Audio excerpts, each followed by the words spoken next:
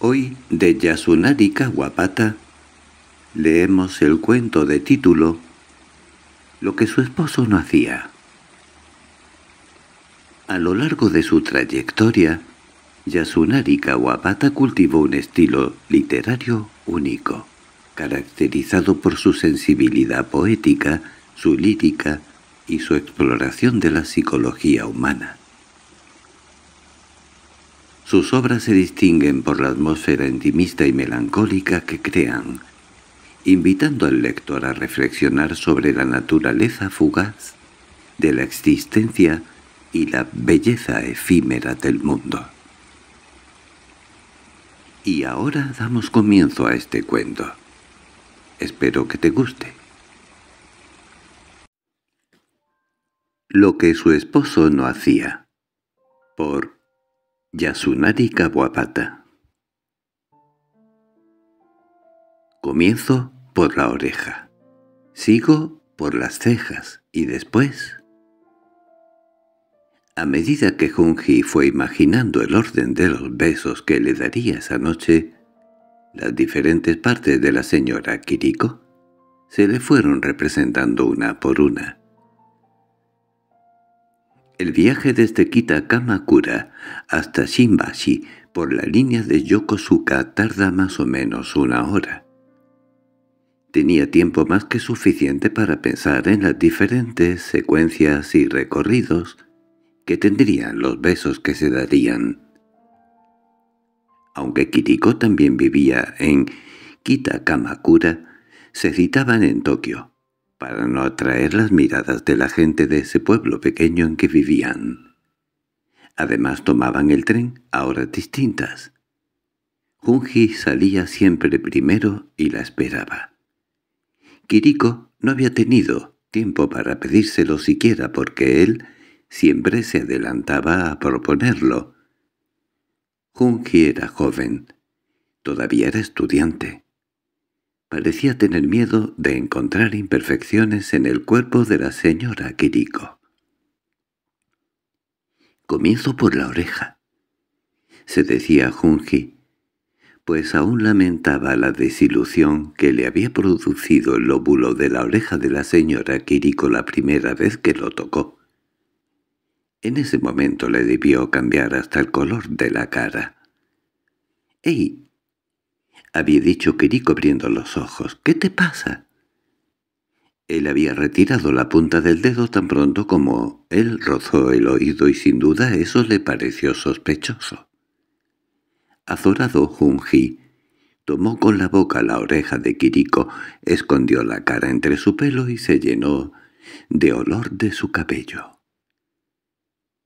«No me gusta que haga eso», dijo ella y trató de zafar la cabeza de su abrazo. Como las orejas de Kiriko eran pequeñas, finas y blandas, Juki pudo hacerla caber dentro de su boca. La desilusión inicial desapareció. Pero una culpa oculta se había manifestado en el deseo de tocar el lóbulo de la oreja de Kiriko. Estaba asociada a la intensa excitación que había sentido hacía un tiempo cuando tomó entre sus dedos el lóbulo de una prostituta. Junji pellizcó el lóbulo de esa mujer por primera vez sin ninguna intención. No era que le hubiera parecido particularmente bonito. Pero entonces, ¿por qué justo en un momento en que sentía tal odio de sí, un odio que se manifestaba en su aversión a tocar cualquier parte de una mujer, se le había ido la mano a su oreja.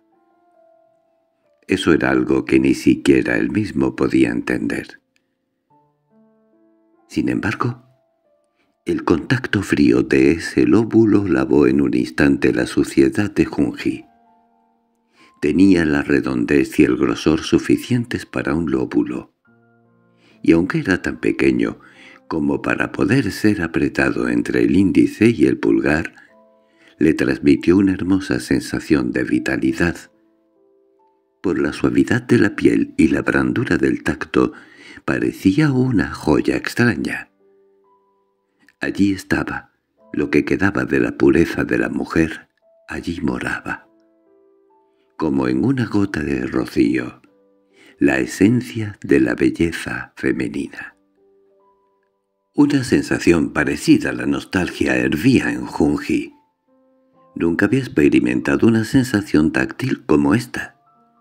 Era como acariciar el alma de una niña encantadora. —¿Qué diablos estás haciendo? —le dijo la mujer sacudiendo la cabeza con brusquedad. Cuando salió de aquella casa Junji no comentó el asunto de la oreja con sus amigos. Si hubiese dicho algo se habrían reído de él, y aunque se trataba de una impresión que difícilmente volvería a vivir de la misma manera en el futuro, se convirtió en un secreto que habría de quedar para siempre en su vida. Pero, cuando quiso acariciar el lóbulo de la señora Kiriko trayendo a la memoria el de la prostituta, como era de esperarse, sintió remordimiento. Por una parte, el lóbulo de Kiriko traicionó todas sus expectativas. Al tacto resultaba pobre y sin consistencia. No era firme ni suave, sino más bien áspero y seco. Junji quedó cortado. Aquello lo había confundido tanto la primera vez que nunca se le ocurrió pensar que no podía esperar lo mismo del contacto con otro lóbulo por hermoso que fuese. La costumbre de darle besos a Kiriko en una y otra parte se inició en el momento en que tomó su oreja con la boca. Hasta entonces las cosas habían sido muy simples. Junji, que era un principiante en el amor, se había ahogado en la fascinación de descubrir que podía satisfacer a tal punto a una mujer madura como la señora Kiriko. Estaba embriagado con su propio atractivo masculino, del que se daba cuenta por primera vez gracias al placer que despertaba en una mujer. Junji, que había creído que el cuerpo de Kiriko era absolutamente perfecto, Tuvo que disimular el vacío que sintió al tocar con el dedo su lóbulo. Además, era consciente de que en los últimos encuentros estaba apagando ese placer que ella había experimentado al principio. Fue pensando en cómo excitar el fuego de Kiriko, cómo se le ocurrió la idea de comenzar por el lóbulo de la oreja. Fue en el segundo o tercer encuentro cuando la señora Kiriko dijo inesperadamente. A veces fantaseaba con la idea de qué pasaría si hiciese alguna vez el amor sin las complicaciones que tiene la relación con un esposo o un amante. A Junji le sonó como si hubiera realizado la fantasía con él como si lo hubieran empujado al vacío. Preguntó. —¿Quiere decir que esto no ha sido más que un juego? ¿Un juego conmigo? —Ningún juego —negó con firmeza Kiriko. Son los hombres los que se pasan jugando y bromeando de esta manera, pero las mujeres son diferentes, al menos yo soy distinta. Sin embargo, de lo que acaba de decir no puede inferirse sino que para usted es un juego. ¿No es así? Y si no es un juego, ¿cómo podría explicarlo? De todas maneras, hay algo de eso, algo rodeado de secreto, masculló Kiriko. Tú no comprendes las restricciones y responsabilidades que tienen las mujeres de mi edad y ese sufrimiento contiene un secreto. Bueno, pero tal vez hubiese sido mejor dejarlo como lo que era, solo una fantasía privada. ¿Está arrepentida de la aventura conmigo? Kiriko se rió de la ingenuidad que encerraba esa frase de cajón. ¿Me pregunta si siento culpa o cosa por el estilo? ¿No es eso insultante a ti mismo? Pues yo, así me castigara y atormentara, no diría que me siento arrepentida. El arrepentimiento no es más que una excusa fácil, una forma de escape. Entonces, fue por puro accidente que me escogió para jugar un papel en esas fantasías secretas. ¿Y a ti no te pareció extraño que yo me metiera tan fácilmente en esta aventura contigo? Yo que hasta ahora nunca había tenido ningún desliz. Cuando nos vimos por primera vez, te hablé de mi hija muerta. Aquello había sucedido en el tren de la línea de Yokosuka. Por invitación de un amigo, Junji había asistido a una clase de pintura occidental, en ella le enseñaron a bosquejar desnudos femeninos. También había cuatro o cinco mujeres, y tanto por su vestido japonés como por su edad, Kiriko se destacaba en el grupo. Esto fue lo que atrajo la atención de Junji. Y sucedió que, como ambos vivían en Kita Kamakura, regresaron a casa por la noche juntos en el mismo tren. Cuando el inspector se acercó a revisar los billetes y Junji fue a cambiar el suyo de tercera a segunda clase, Kiriko se anticipó a pagar. Mientras Junji hurgaba en los bolsillos de su pantalón, Kiriko abrió rápidamente el bolso que tenía entre las rodillas. El ademán de Kiriko mostraba que había planeado pagarle el billete. Después de pasar, Yoko ama Kiriko abrió el cuaderno de dibujo y se puso a dibujar. De vez en cuando levantaba los ojos hacia Junji y copiaba algo en el cuaderno. Junji tuvo la impresión de que el rostro de ella se iba volviendo cada vez más hermoso. Como estaban sentados enfrente uno del otro, Junji alargó el cuerpo y echó un vistazo al cuaderno. La señora Kiriko estaba haciendo un bosquejo de la cara de Junji. Sin decir palabra, Junji le arrebató el cuaderno. Después de contemplarlo un rato, sacó su propio lápiz y comenzó a añadir trazos encima de lo que ella había dibujado. —¡Eh! ¡No hagas eso! —exclamó la señora Kiriko, volviendo a coger el cuaderno. Pero a Junji lo avergonzaba que le dibujaran la cara, por lo que volvió a quitárselo y se puso a completar el dibujo. Esta vez fue ella la que se inclinó hacia adelante. No parecía dispuesta a dejar que Junji fuese un dibujante y una vez más lo recuperó y siguió dibujando. De esta manera, rapándose por turnos el cuaderno, continuaron dibujando a Junji. El contorno de la cara se fue emborronando con la superposición excesiva de líneas trazadas por una y por otro. Aparecieron hasta manchones innecesarios. Junji, sin embargo, a medida que entre los dos dibujaban su cara, se fue dejando llevar por un íntimo afecto hacia Kiriko. Era como si la emoción se manifestara en el dibujo. Junji olvidó la vergüenza que le producía que lo dibujaran. Es más, Dibujar sobre los trazos de Kiriko se convirtió en directamente en un placer, como si estuvieran poniendo uno sobre otro las manos en el corazón. «Bueno, y con esto ya está terminado», dijo Kiriko, y dejando de dibujar comenzó a comparar el boceto con la cara de Junji. «Tiene un cierto parecido, ¿verdad?» «Déjeme hacerle algo más». ¿En qué parte? ¿En los ojos? Es mi cara. Yo soy el que tiene que terminarla. ¿Qué confianza te tienes? No se trata de eso.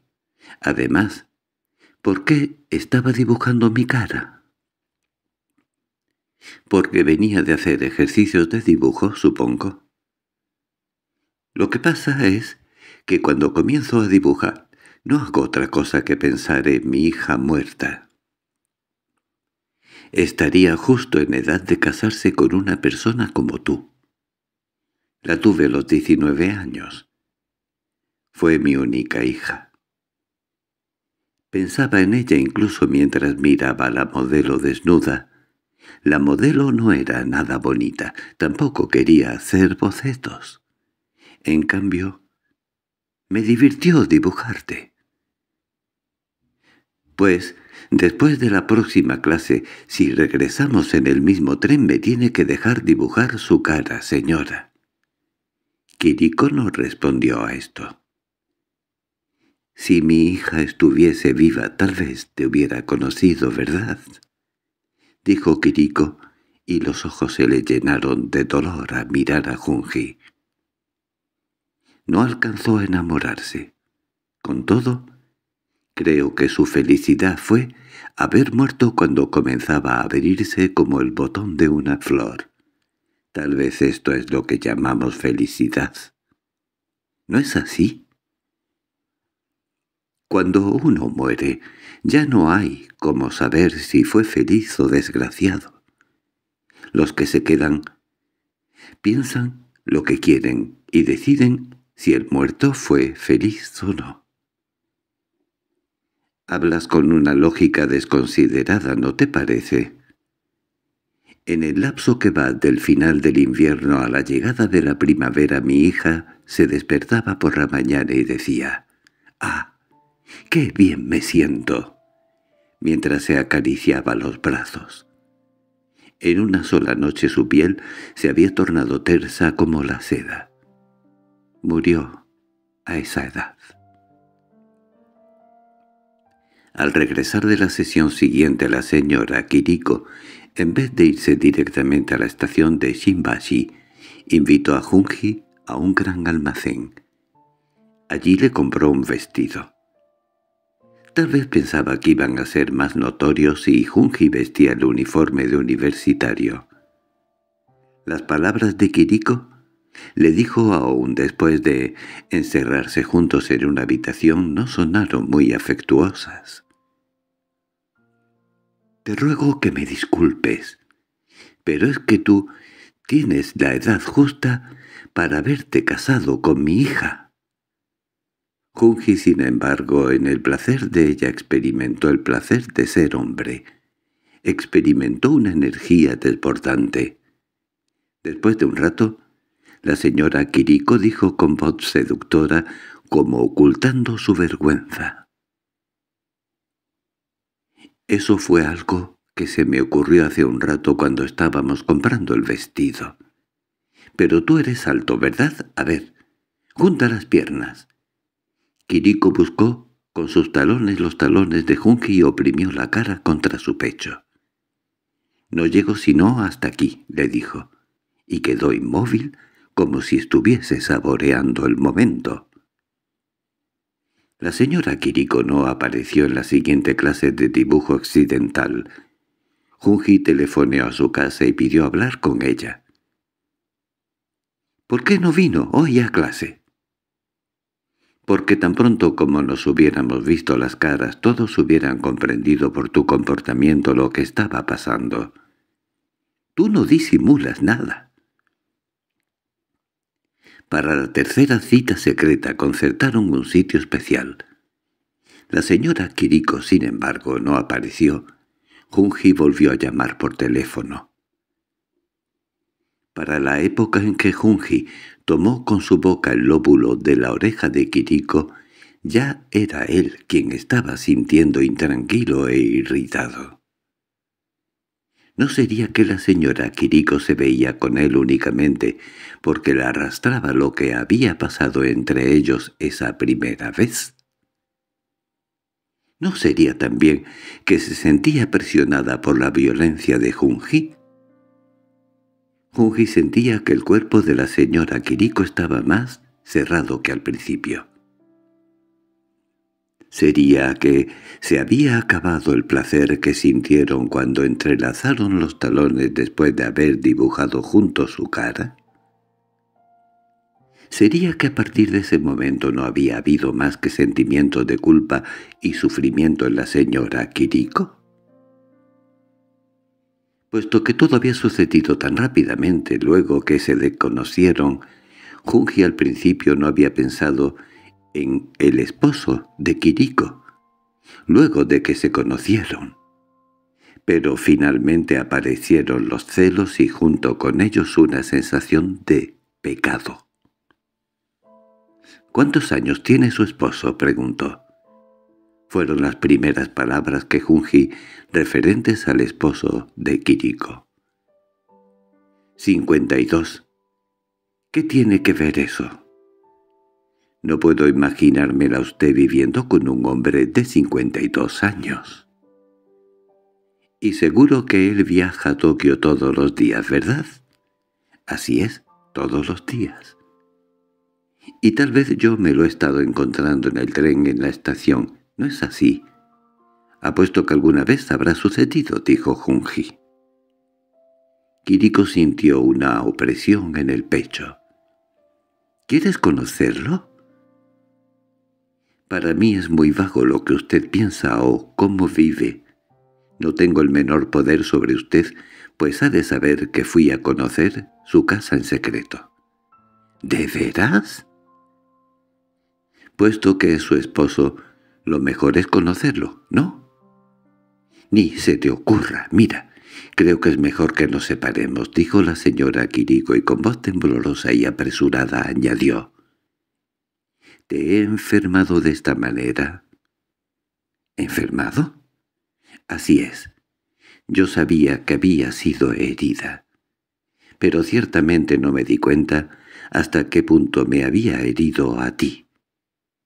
Digo cosas de mi esposo porque tú quieres saberlas, pero lo que pasa entre mi esposo y yo, dijo, y dudó en seguir adelante. ¿Cómo es lo que pasa entre su esposo y usted. No es lo mismo de antes. Para decirlo con tus palabras, lo que yo pienso y el modo como vivo. Mi esposo parece no darse cuenta de nada, pero yo he cambiado radicalmente. Ser mujer es un desastre. ¿Cómo así un desastre? ¿Y de qué modo ha cambiado usted? La señora Kiriko no respondió a las preguntas. Junji siguió besándola aquí y allá. Ella, sin embargo, permaneció insensible y eso precipitó a Junji en un vacío insoportable. Después de eso, Junji sintió que aún tenía menos opción. Tenía que telefonear a Kiriko. La dibujó mentalmente, aproximándose en el siguiente tren de la línea Yokosuka. Pensó en la secuencia de besos que le daría, en el modo como lo haría. Quedó sorprendido al darse cuenta de que era más feliz haciendo esto que estando con ella. Se preguntó si, tal como ella se lo había dicho, él no estaría realmente enfermo. Esa noche también Junji comenzó por la oreja. Todavía tenía que descubrir otros defectos en el cuerpo de la señora distintos al de sus orejas. Mientras Junji se desplazaba de uno a otro lado de su cuerpo, la señora Kiriko susurró. «No tienes por qué hacer todas estas cosas, ¿sabes?» De repente Junji quedó inmóvil. Kiriko, en cambio, se sintió relajada. Ella se sentía como la primera vez cuando anudaron los talones. Junji se dio cuenta de que esta vez ella había venido por compasión. De repente empezaron a correr unas lágrimas que no podían detener. ¿Esto es lo que significa una separación? pensó para sí. Y por otra parte, las crueles palabras de la señora Kiriko también parecían sugerir que había estado haciendo lo que su esposo no hacía.